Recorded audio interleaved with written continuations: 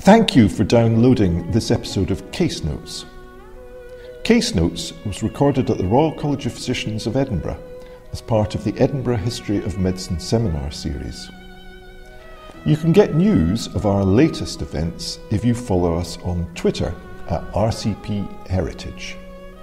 We hope you enjoy the talk.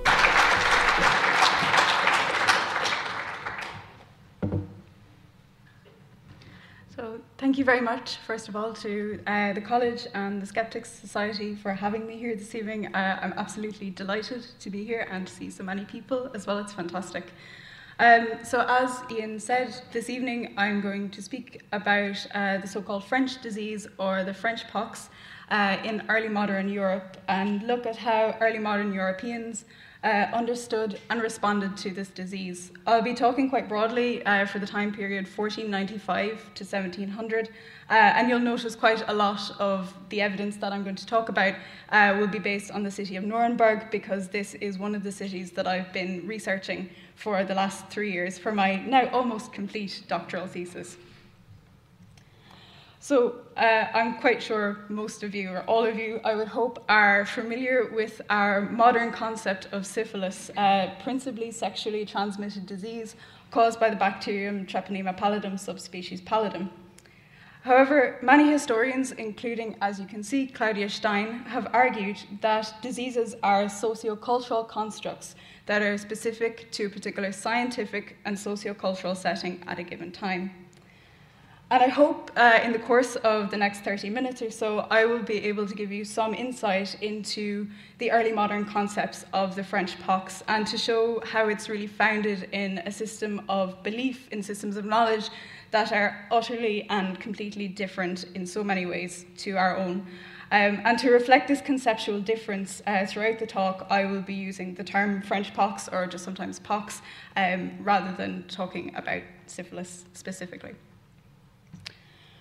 So, uh, in the winter of 1494 to 1495, Charles VIII of France laid siege, laid siege to the city of Naples.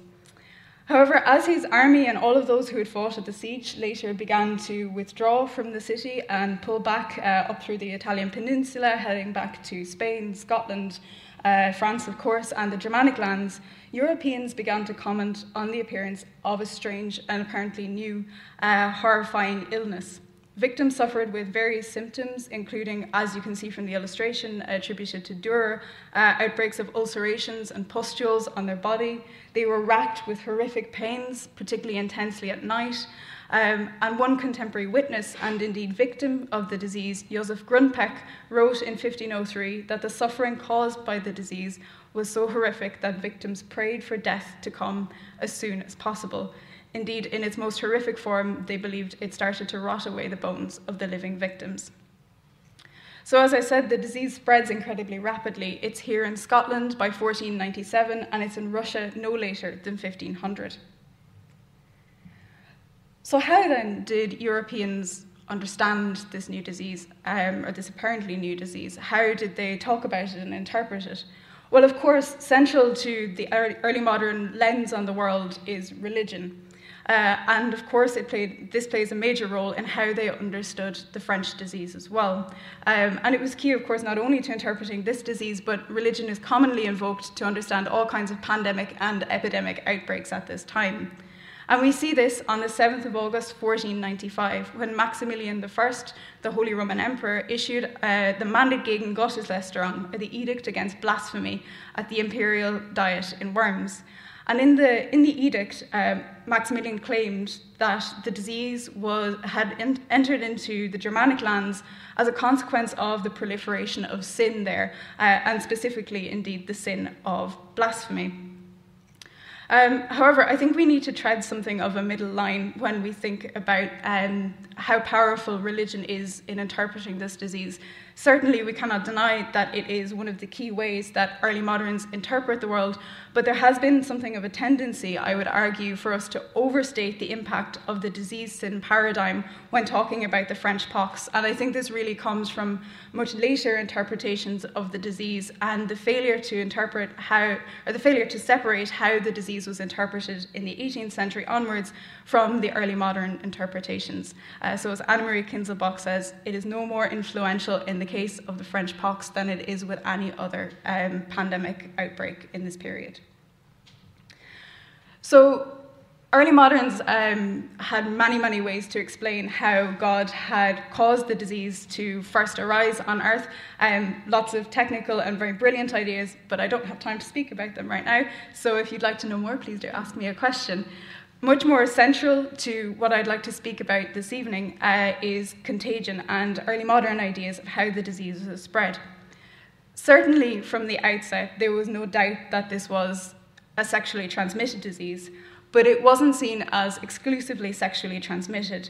Uh, there was immense fear that the disease was spreading through various non, what we can call non-venereal forms of contagion, so through the clothing, drinking vessels, foods, and air. And we see this in how municipal authorities respond to the disease. So in 1496, the City Council of Frankfurt am Main received a note from the, from the city's official doctors who said because the disease was now clearly visible in the city, a list of all of the infected should be made up so that they could be separated away from the healthy population. Here in Edinburgh in 1497, James IV issued his Grandgore Act, which stated that all of those infected with the disease were to proceed to the island of Inchkeith in the Firth of Forth for quarantine, and those who failed to do so would be branded and banished from the city. In Aberdeen, we see something of a slightly different approach, at least initially in 1497, uh, because the only order in Aberdeen in 1497 states simply that all prostitutes are to cease practicing their trade, um, for, uh, again, under pain of punishment, um, to stop the spread of the disease. However, it seems that the council wasn't really ultimately convinced that this was enough to halt the spread of the disease because in later orders, such as those in 1507 and 1530, as well as reiterating the ban on prostitution, they also warned that anyone infected with the disease was to stay well away from their neighbours, and particularly they were to stay away from anywhere that food was being prepared. In 1515, in Rome, Pope Leo X issues the bull Salvatoris Nostri Domini Jesu Christi, in which he states that the city is um, infested with the sick poor. It's not really very popely language. Um, it's infested with sick, incurable poor, including those infected with what he calls uh, morbus gallicus, or the French disease. And these people are to be moved uh, into the city's hospitals by force, if necessary, um, so that the healthy population can be protected and kept safe from any threat of infection that they might pick up simply by having close physical proximity with these people. Uh, and then in 1504, again, we have some rather fearful, uh, some fearful clergy uh, who were quite worried about the fact that um, while they were giving out communion, they were worried that somehow they would pick up the disease on the robes and the religious paraphernalia that they were using, and they asked for a separate cupboard so that they could so- store this away separate uh, to everything else in the cathedral and avoid catching the disease and uh, the disease, which is of course known uh, as Die Franzosen in Nuremberg, or the French, again, the French disease. Um, again, we see significant anxiety about how it's spreading.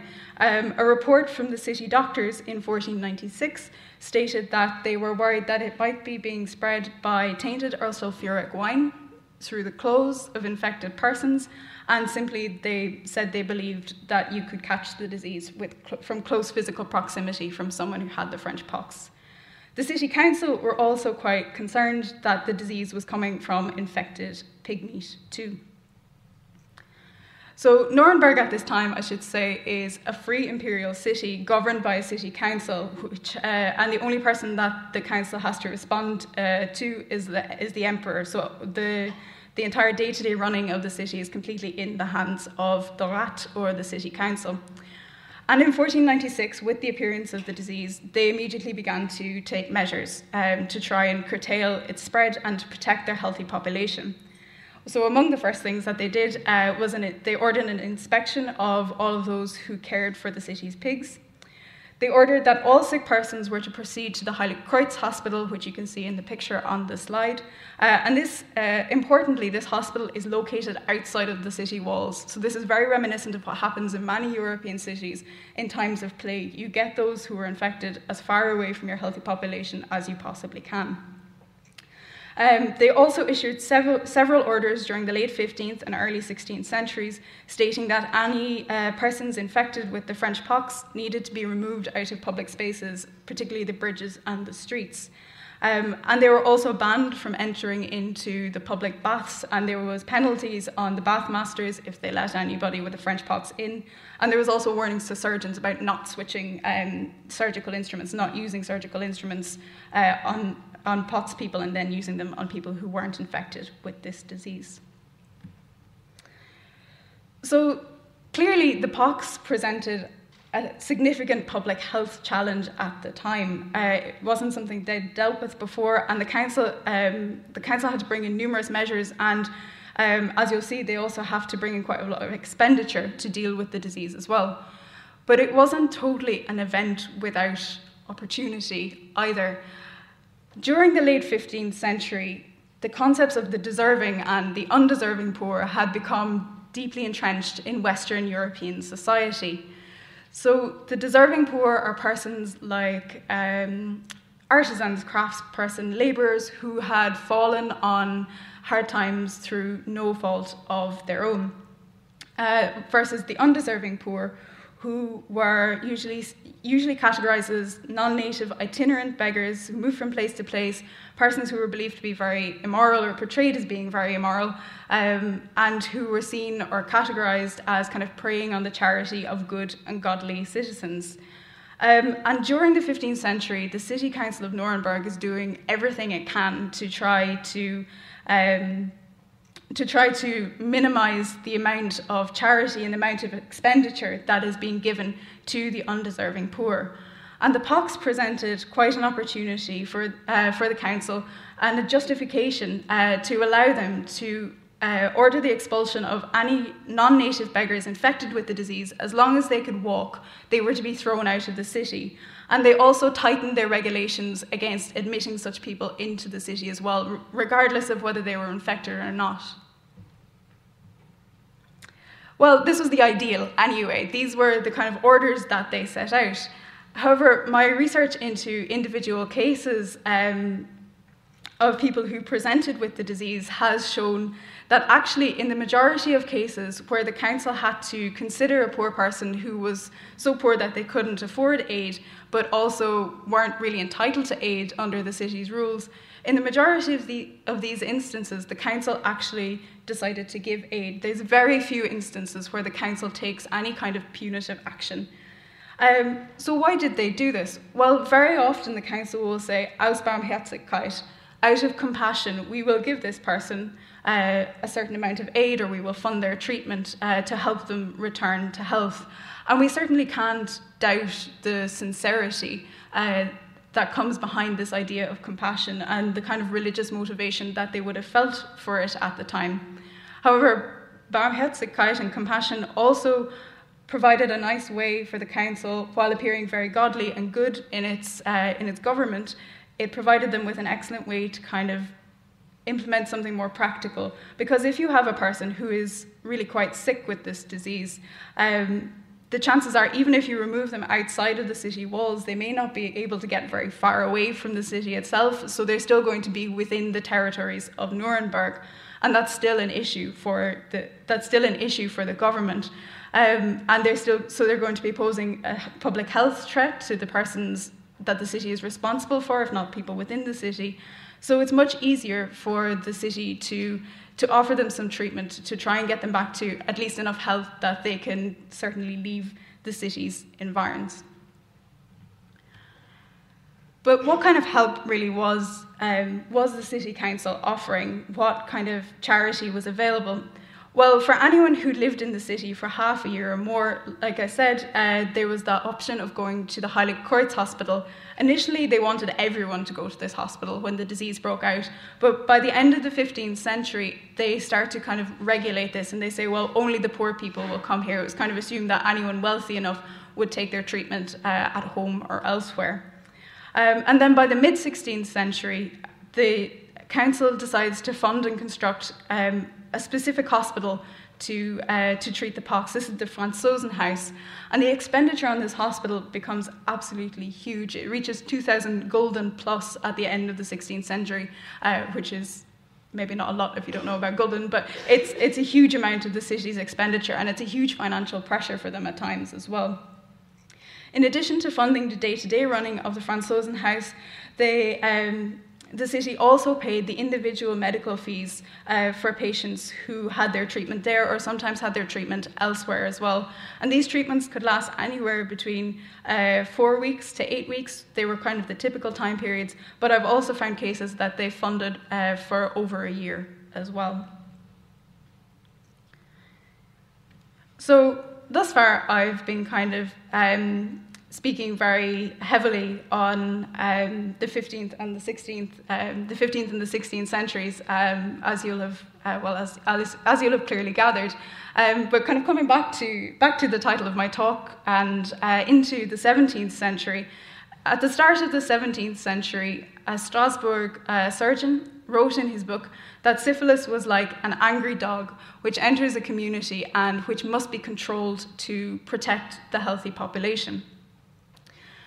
Now, historians have really uh, very heavily underplayed, um, I argue, uh, they've deeply underplayed the influence of non venereal theories of contagion. Um, most historians argue that after 1520, they're not really important, that everybody, they argue that everybody is focusing on uh, the French pox as a sexually transmitted disease. Um, and certainly, we can't deny that there is a very heavy um, interest in the sexual forms of contagion in terms of medical theorizing, um, and increasingly, perhaps as well, in terms of the moral environment. But I argue that non venereal theories of contagion not only persist, but they remain very, very important for medical and lay thinking. And we see this reflected in medical works like that of Sartorius, who warned people that you could catch the disease through handling the same door handle as a person who had the French pox, or again through sharing clothes, sharing drinking vessels, and such like. Um, and we also see it in the municipal records held in the Stadtarchiv, or the city archive in Nuremberg, where the doctor's reports from the late 17th century still exist. Um, and in 1684, a doctor reported to the city council that uh, one soldier in the city ought to be given treatment for the disease because his case of the disease had arisen not from any kind of immorality or any kind of lifestyle factors, but because he had spent 24 hours in what's described as a bad environment. So, an environment that was probably very hot or very damp and cold, I would imagine. Um, and this disturbed his humoral balance and caused a, a case of the disease to simply kind of spontaneously generate within him. Um, and similarly, or well, quite similarly, in 1686, uh, another doctor, uh, indeed, actually, in this case, it was a doctor and a surgeon, both reported to the council that aid should be given to a woman who had contracted her case of the disease uh, from infected clothing and from sleeping in infected bed as well. And in both of these cases, and in a couple of other cases as well, where the doctor's reports exist um, and where they cite non venereal forms of contagion, the city went forward and gave charitable support without any, um, without any argument. They were very happy to provide help for these people. That said, however, uh, this desire to distinguish between the deserving and the undeserving poor certainly does persist in the 17th century. And I would argue it does start to become a little bit more intense, especially in the late 17th century. Um, because it's in the late 17th century that the council issues its first orders against native victims of the disease. It's about, it's in 1650 that they say we will no longer support anyone who has contracted the disease through unzucht. Uh, and unzucht is a term that you can translate as immorality quite broadly, or you can take it to mean sexually immorality as they would define it as well. Um, and the city does seem to um, it does seem to wish to narrow the base of people that it's allowing into treatment at this time. But nonetheless, uh, the aid does continue, um, and there's at least in the for the years 60, for the 1680s, for 1681 to 1689, the council funded at least 50, uh, 50 cases for treatment in this period. So I'm going to, well, my first part of my conclusion is rather a question, and that is is the French pox syphilis? Now, I'm not asking this as um, as a scientist would ask this question, perhaps, although um, a recent uh, study by Gall et al., I think they're based at the University of Zurich, has suggested that the bacterium did undergo some kind of change during uh, the early modern period. But I'll leave that question uh, to the scientists and those who handle it best. But conceptually, is the French pox syphilis? Well, I hope I've given you some uh, insight into the concepts um, that underpinned this disease during uh, the period 1495 to 1700. Um, and there's so much more we could talk about in terms of um, more nuanced medical understandings, other sociocultural influences. But I hope that I've shown that um, this really, during the, during the early modern period, the concepts um, the basis of knowledge, uh, the cultural beliefs at the time, they really give rise to an understanding of a disease that is very different to how we look at syphilis today. But I'll leave you each to draw your own conclusions on that. But thinking then, the other part of what I wanted to talk about, of course, was how do people respond uh, to, how, how did the civic governments respond to the French pox in particular? Um, and I would argue, and my thesis argues, that the primary driver between a lot, behind a lot of this response is contagion. How do they think the disease is spreading? Um, and what does this mean for, for them and for the public sphere in terms of containment um, and how can they best protect, protect the population? And that links very closely with practicality. How do you safely protect your healthy population? Um, and also, what are the kind of the most economically viable options for you to do that as well? And finally, of course, there's also the factor of morality, which is very. Um, you've seen it has two sides, I think, in this um, in this discussion, because morality not only uh, morality not only underpinned how um, how the disease could be stigmatized and how those with the disease could be stigmatized, how they could be cast out, but it also played an essential role in how they could be included and how the council could indeed justify treating those with the disease, and in particular, how it could justify treating those with the disease that it really could legally abdicate responsibility for. So that's all from me. Thank you very much.